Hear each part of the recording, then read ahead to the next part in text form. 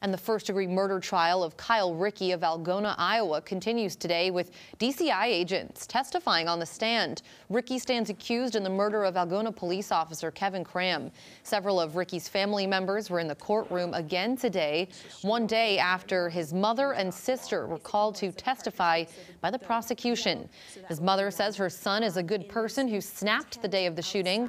Today, a long discussion with the agent who interviewed Ricke even told Evan Thompson told the court how he went to Sleepy Eye, Minnesota, where he spoke with him, and also got the jury a briefing from Kristen Hart of DCI, who spoke about her investigation and the weapon used.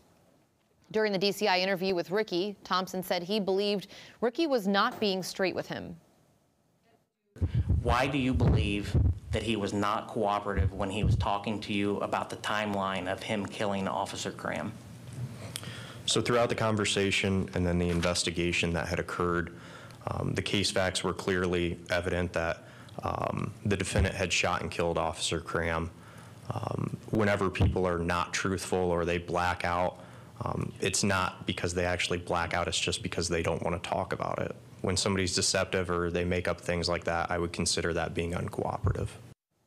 The judge and attorneys are working on instructions for the jury when weighing the penalties in this case.